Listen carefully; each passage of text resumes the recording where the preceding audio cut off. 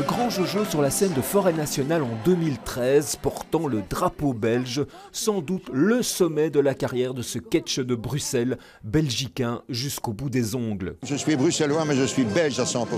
Vraiment, la Belgique est un tellement beau pays. Né le 6 juillet 1936 à Ixelles, Jules Jean Van Obergen passe son enfance du côté de Molenbeek. Sous le pseudo de Grand Jojo, il débute sa carrière fin des années 60. Très vite, il enchaîne les succès comme le French Cancan, Victor le footballiste, Jules César ou le Tango du Congo en 72, empreint d'un certain racisme ordinaire. Parmi ses grands hits, l'incontournable On a soif. Une petite bière, on a soif. En 86, il sort Et Viva Mexico.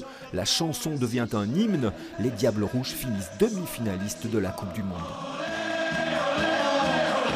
86, évidemment, c'est le meilleur souvenir de ma vie. Lorsque j'étais au balcon avec les Diables Rouges, que tous les gens chantaient Olé, olé, vive les champions.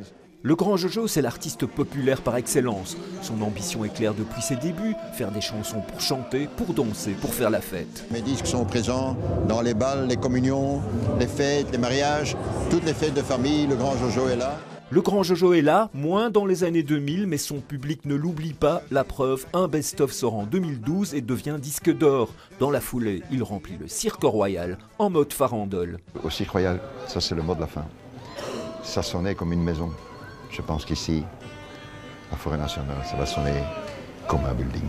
Et Forêt Nationale a été à la hauteur de ses espérances. En juin dernier, il annonçait sa retraite avant de tirer sa révérence définitivement ce 1er décembre à l'âge de 85 ans. Tu sais ce qu'on peut faire? Ton plus gros succès Chef, euh, on a soif. Vas-y. 3, 4. Chef, On a- on a soif.